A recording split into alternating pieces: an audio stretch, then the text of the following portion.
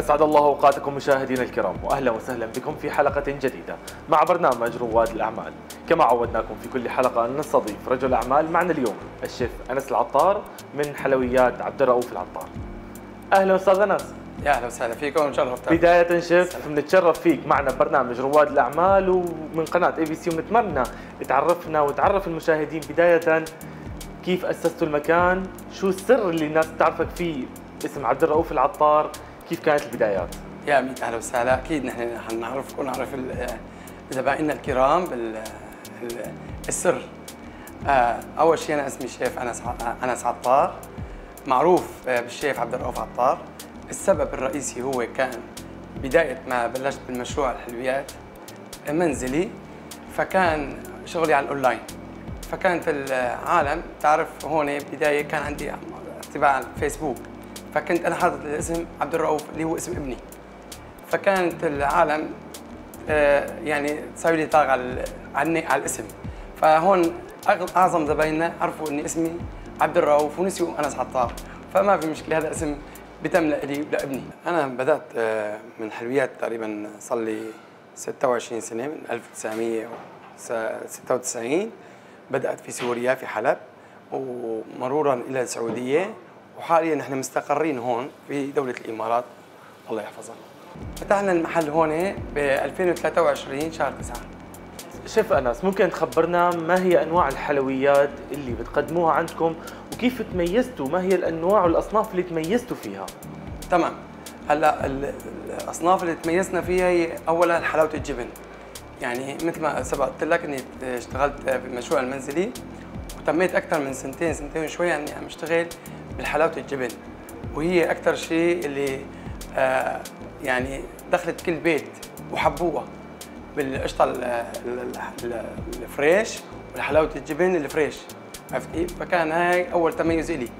وتمام يعني كمان زبائننا صار يطلبوا أكثر وأكثر من الآن. ولساتنا عم نوسع أصنافنا عم نوسع مع يعني هي الأصناف حاليا مو كلياتها. ولسه شوي شوي عم ننزل آه، بقية الأصناف. بالنسبة للأصناف عندنا تقريبا أكثر من 50 صنف منهم مثل المعمول البرازه الغريبة الحلويات العربية بين النارين الهرايس النبكية. بالإضافة للكيك الكيك الغربي ال slice عندك ال éclair ليالينا المحلاية. وبالنسبة نحن كمان بنقدم الأعراس ومناسبات كميات كبيرة. طبعا هذا الحكي بيكون قبل آه، حجز مسبق. شيف بعد النجاح الرائع والسمعة اللي اكتسبتوها في إمارة الشارقة وفي الإمارات بشكل عام ما هي الخطة وما هي الرؤية المستقبلية؟ الخطة إن شاء الله تعالى نحن نسعى للأفضل ونسعى أن نفتح فروع بقية الدولة بإذن الله تعالى. فهي بتوقف لموضوع يعني وقت معين في وقت بده يكون يعني بلشنا بمشروع منزل بلشنا هون وإن شاء الله لقدام عم نتوسع إن شاء الله تعالى. شيف أنت كرائد أعمال من خلال خبرتك شو بتنصح الناس الجديدة اللي حابة تبدأ عمل خاص فيها؟ هلأ بالنسبة لل أنصح أي واحد بده يفتح مشروع أهم شيء يشتغل ب يعني الشيء اللي هو اللي بيفهم فيه. إذا كان هو شيف فلازم يقدم أفضل شيء عنده الجودة ويدرس الأسعار. الأسعار مهمة بالوقت هذا مهم. وال location وال location بيكون أساسي.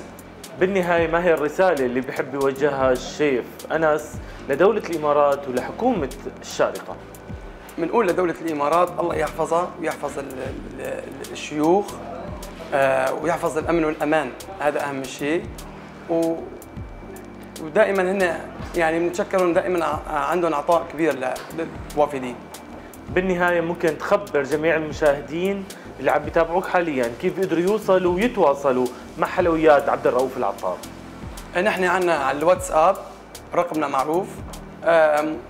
plus في عندنا الفيسبوك الإنستغرام هدول نحن معروفين فيهم. وموقع الخان نحن خلف آه، بناية السعادة خلف برج السعادة. نتشكرك شيف انس وبنشكر جميع طاقم العمل في حلويات عبد الرؤوف العطار. ونتمنى لكم دائما التوفيق والنجاح. أهلا وسهلا شكرا. لكم كثير. إلى هنا أعزائي المشاهدين نختتم حلقتنا لهذا الأسبوع. تابعونا كل جمعة وسبت على قناتكم اي بي سي دمتم بخير وفي أمان الله.